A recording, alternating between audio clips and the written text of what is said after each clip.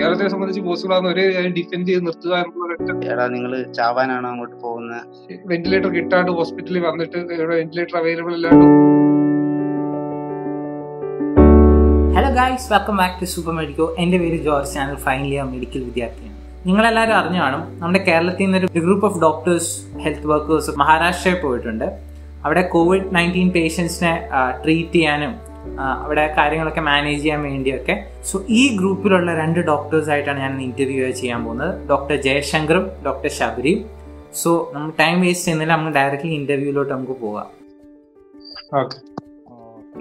തുടങ്ങട്ടെ.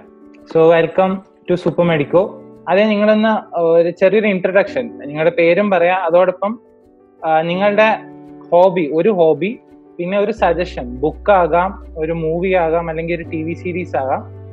പിന്നെ നിങ്ങളെ ഇപ്പൊ എന്തെങ്കിലും സ്പെഷ്യാലിറ്റി നിങ്ങൾ എന്ത് ഫ്യൂച്ചർ എന്ത് സ്പെഷ്യാലിറ്റി ചെയ്യണമെന്ന് തീരുമാനിച്ചിട്ടുണ്ടെങ്കിൽ അതും കൂടി പറ. എന്റെ പേര് ഡോക്ടർ ജയശങ്കർ. രണ്ടായിരത്തി പതിനാല് batch M B B S ഇപ്പൊ പഠിച്ചിറങ്ങിയിട്ടേ ഉള്ളൂ. ഹോബി സിനിമയും പുസ്തകങ്ങളൊക്കെ തന്നെയാണ്. സജസ്റ്റ് ചെയ്യാൻ സിനിമ എന്ന് പറയുമ്പം ഞാൻ സ്റ്റീവ് ലോപ്പസ് എന്ന് പറയുന്ന ഒരു മലയാള സിനിമയാണ് സ്പെഷ്യാലിറ്റി ഒന്നും ഇതുവരെ ആയിട്ടില്ല. തീരുമാനിച്ചിട്ടില്ല. സെർച്ചിങ് എന്റെ പേര് ഡോക്ടർ ശബരി. ഞാൻ two thousand fourteen M B B S medical college നിന്ന് പാസ് ഔട്ട് ആയതാണ് ഇപ്പം ഈ മാർച്ചിൽ ഹൗസ് കംപ്ലീറ്റ് ചെയ്തതാണ്. എന്റെ ഹോബി ആയിട്ട് പറയുകയാണെങ്കിൽ ക്രിക്കറ്റ് കളിക്കും. അതൊക്കെ തന്നെയാണ് ഹോബി പിന്നെ പോസ്റ്റ് ഗ്രാജുവേഷൻ പീഡിയാട്രിക്സിൽ ചെയ്യണമെന്നാണ് താല്പര്യം. ആ പിന്നെ ഒരു മൂവി റെക്കമെൻഡേഷൻ ആയിട്ട് ചോദിക്കുവാണെങ്കിൽ നീലാകാശം പച്ചക്കടൽ എന്നുള്ള ദുൽഖറിന്റെ സിനിമയാണ്. അത് ആര് ചോദിച്ചാലും ഞാൻ അതായിരിക്കും സജസ്റ്റ് ചെയ്യുന്നത്. അപ്പൊ നിങ്ങൾ നിങ്ങൾ എത്ര ടീമാണ് ഇപ്പൊ മുംബൈ പോയേക്കുന്നത്? നമ്മൾ ഇരുപത്തെട്ട് ഡോക്ടേഴ്സും ഒരു നാൽപ്പതോളം നഴ്സുമാരും വന്നിട്ടുണ്ട് ഇപ്പൊ. ഇവിടുത്തെ ഒരു കണ്ടീഷൻസ് ഒക്കെ ഇനി കണ്ടുകൊണ്ട് തന്നെ കുറച്ചൊരു കുറച്ചുകൂടെ ആൾക്കാരുടെ ആവശ്യമൊക്കെ ഉണ്ട്. അപ്പൊ കുറച്ച് പേരും കൂടെ വരുമെന്ന് പ്രതീക്ഷിക്കുന്നു. എനിക്ക് ഓപ്പർച്യൂണിറ്റി എങ്ങനെയാണ് വന്നത്? നിങ്ങളുടെ ഗ്രൂപ്പ് അതിന്റെ സെലക്ഷൻ അങ്ങനെ വല്ലതും എങ്ങനെയായിരുന്നു? അതിന്റെ പ്രൊസീജിയർ എങ്ങനെയായിരുന്നു? ഒന്നുമില്ല. പബ്ലിക്കായിട്ട് തന്നെ മഹാരാഷ്ട്രയിലേക്ക് പോകുന്ന ഒരു ടീം ഉണ്ടെന്നുള്ള കാര്യം ന്യൂസിലും മീഡിയയിലും എല്ലാം വാർത്തയായിട്ട് വന്നതാണ്. ആർക്ക് വേണമെങ്കിലും വിളിക്കാം കോൺടാക്ട് ചെയ്യാം. താഴെ ഒരു നമ്പരും ഉണ്ടായിരുന്നു. സന്തോഷ് സാറിന്റെ നമ്പറായിരുന്നു സന്തോഷ് സാറിനെ നേരിട്ട് നമുക്ക് നേരത്തെ അറിയായിരുന്നു. അപ്പം ഇങ്ങനെ താല്പര്യമുണ്ട്. അങ്ങനെയുള്ള രീതിയിൽ നമ്മൾ മെസ്സേജ് ചെയ്തു. പിന്നെ അടുത്ത കാര്യം നിങ്ങളോട് ചോദിക്കുന്നത് എങ്ങനെയാണ് നിങ്ങളുടെ എക്സ്പീരിയൻസ് മുംബൈ പോയിട്ട്? നമ്മുടെ ഒരു കേരള ആയിട്ട് കമ്പയർ ചെയ്യുമ്പോൾ അവിടുത്തെ നിങ്ങളുടെ വർക്കിംഗ് സ്റ്റൈലും ഒരു ഡെയിലി റൊട്ടീനൊക്കെ എങ്ങനെയാണ്? അവിടുത്തെ ലാംഗ്വേജ് ബാരിയർ അല്ലെങ്കിൽ പ്രശ്നമുണ്ടോ? പേഷ്യൻസ് ആയിട്ട് ഇന്ററാക്ട് ചെയ്യാനും അങ്ങനെയല്ല? നമ്മൾ അവിടെ ചെല്ലുന്നത് നമ്മൾ അവിടുത്തെ സിസ്റ്റം മാറ്റിമറിച്ചിട്ട് വേറെ പർട്ടിക്കുലർ ആയിട്ട് ചെയ്യാൻ വേണ്ടി ഒന്നുമല്ല അവിടെ ഒരു എക്സിസ്റ്റിംഗ് സിസ്റ്റം ഉണ്ട്.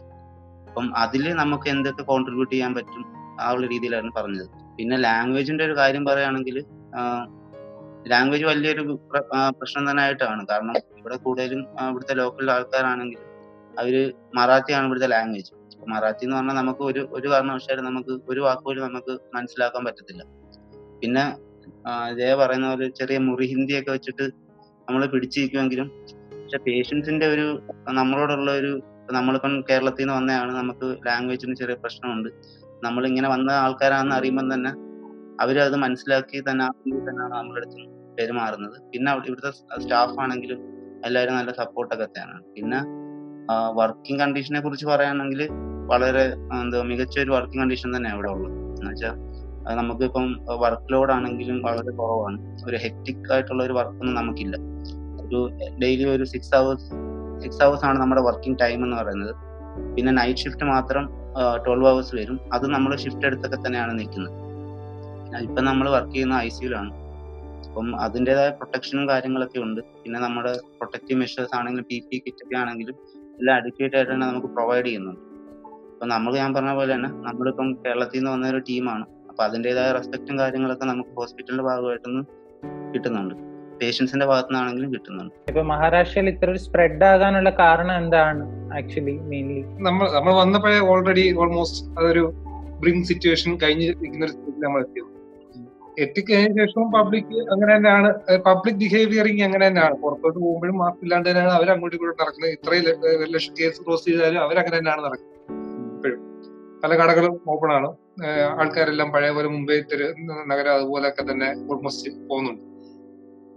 ആ പബ്ലിക് കോൺഷ്യസ്നെസ് ഭയങ്കരമായിട്ട് കുറഞ്ഞൊരു സ്ഥലമായത് കൊണ്ടാവാം. അങ്ങനെയൊക്കെ സംഭവിക്കുന്നതെന്ന് തോന്നുന്നു. അറിയില്ല. കൃത്യമായിട്ട് അതിനാണോ കാരണമെന്ന്. കേൾക്കുമ്പോൾ ഇതൊരു ഫിനാൻഷ്യൽ ക്യാപിറ്റൽ ആയതുകൊണ്ട് അവർക്ക് എത്രമാത്രം മണി ഇതിനെ ഇതിലേക്ക് അക്യൂർ ചെയ്ത് വെന്റിലേറ്റർ അല്ലെങ്കിൽ ഇൻഫ്രാസ്ട്രക്ചർ എടുക്കാനുള്ള കപ്പാസിറ്റി അവർക്കുണ്ട്. മഹാരാഷ്ട്രയ്ക്കുണ്ട്. അത് കാരണം തന്നെ അവർക്ക് ആകെ ഇല്ലാത്ത ആണ് കുറച്ചെങ്കിലും ഡെഫിഷ്യൻസി ഉള്ളത് പക്ഷെ മറ്റേ അവർക്ക് ഒട്ടും ഡെഫിഷ്യൻസി അല്ല മണി പവർ ഇവിടെ അവർക്ക് വർക്ക് ചെയ്യാനുള്ള ആൾക്കാരെയാണ് അവർക്ക് വേണ്ടത്. അതാണ് അവരുടെ ഡിമാൻഡിങ് ആയിട്ടുള്ള സംഗതി ബാക്കി എല്ലാവർക്കും ഉണ്ട്.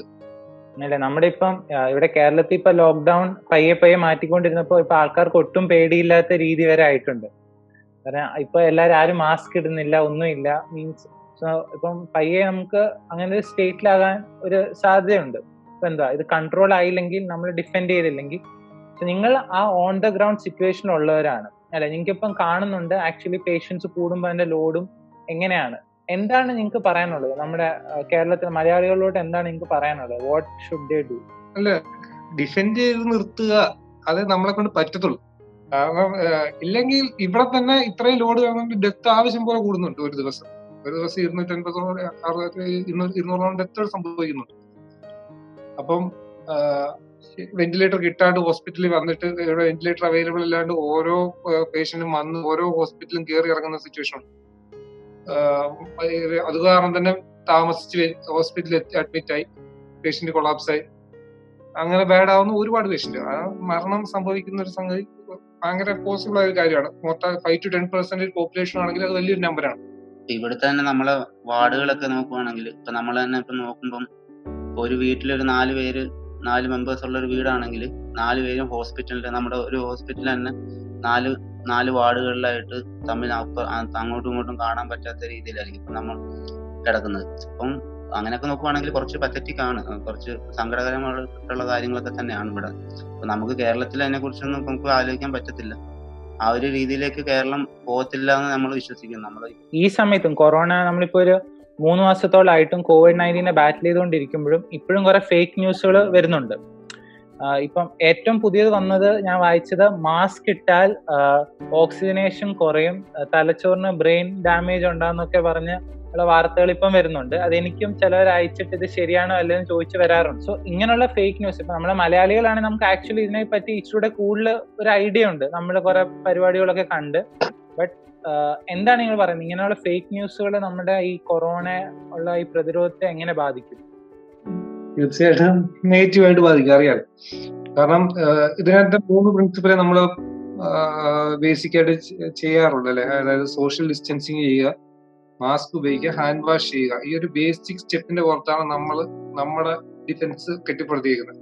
ഇത് തകർക്കുന്ന ഏതൊരു സാധനവും നമുക്ക് തന്നെ ആപത്ത് വരുത്തുന്ന കാര്യങ്ങളായിരിക്കും. നമ്മളെ നമുക്ക് പറ്റുന്ന ഏറ്റവും നല്ലൊരു ഒരു ഏറ്റവും നമ്മൾ വെച്ച് ഏറ്റവും നല്ല സ്ട്രാറ്റജിയാണ് ബ്രേക്ക് ചെയ്യുന്നുള്ള ഒരു കോൺസെപ്റ്റ് അതിനെ തകർക്കുന്ന ഏത് ന്യൂസും അപ്പൊ തന്നെ മുളയിലെ നുള്ളിക്കളയാനുള്ള സ്റ്റെപ്സ് നമ്മളും ചെയ്യേണ്ടതാണ്. മെഡിക്കൽ സ്റ്റുഡൻസ് കുറെ പേര് ഈ വീഡിയോ കാണുന്നുണ്ടായിരിക്കും ഒരു ഇന്റർവ്യൂ സോ അവരോട് നിങ്ങൾ എന്തെങ്കിലും പറയാനുള്ളോ മെഡിക്കൽ സ്റ്റുഡൻസ് പ്രത്യേകിച്ച്.